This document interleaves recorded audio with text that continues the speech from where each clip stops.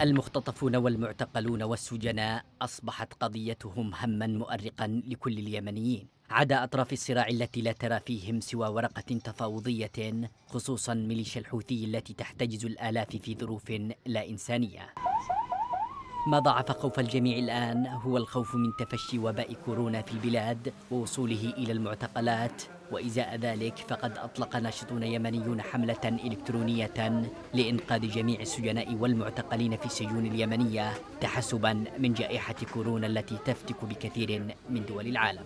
الحملة التي انطلقت عصر أمس وتستمر لمدة يومين طلبت وتطالب بالتحرك العاجل للضغط على كل الأطراف المعنية في اليمن للإفراج عن جميع المحتجزين وتحريك مبادرات إنسانية عاجلة بهذا الشأن قبل فوات الأوان وفق ما ورد في بيان الحملة.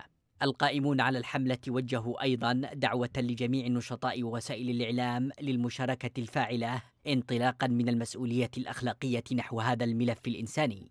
يأمل القائمون على الحملة ومثلهم الآلاف من أهالي المختطفين والمعتقلين أن يحرك هذا النداء ضمائر أطراف الحرب الذين ما زالوا في غفلة حسابات المصالح الضيقة.